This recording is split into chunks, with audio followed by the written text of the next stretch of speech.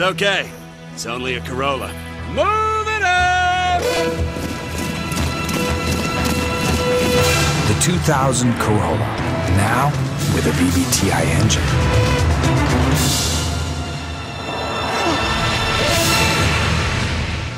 It's more powerful than you think.